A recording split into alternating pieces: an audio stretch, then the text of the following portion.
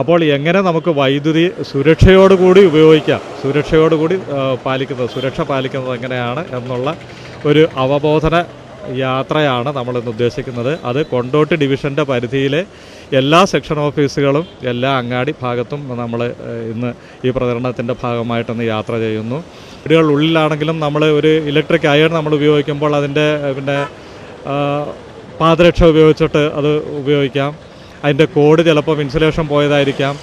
അപ്പം അതെല്ലാം നമ്മൾ വീടിനുള്ളിൽ ഉപയോഗിക്കുന്ന വൈദ്യുത ഉപകരണങ്ങൾ എങ്ങനെ കൈകാര്യം ചെയ്യണം അതിന് എത്രത്തോളം സുരക്ഷയോടുകൂടിയാണ് നമ്മൾ കൈകാര്യം ചെയ്യേണ്ടത് അതിന്റെയൊക്കെ ഒരു അവബോധനമാണ്.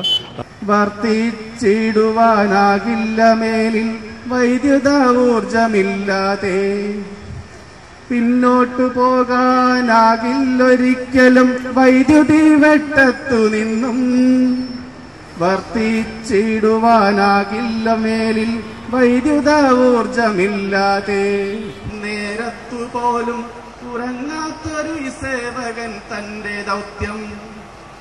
സന്തത സഹചാരിയാകും ഈ സേവകൻ. സുരക്ഷാ നിയമങ്ങൾ ലംഘിക്കുകിൽ പരിചിതമല്ലാത്ത ഭാവത്തിലെത്താം വൃദ്ധനാം കൊലയാളിയായി.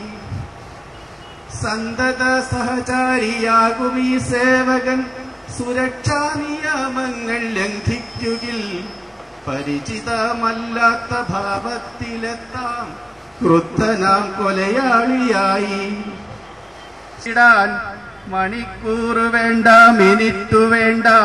ആയുസ്സു വിലാപമായി മാറാൻ അശ്രദ്ധതൻ അരനിമിഷമേ വേണ്ടതുള്ളൂ.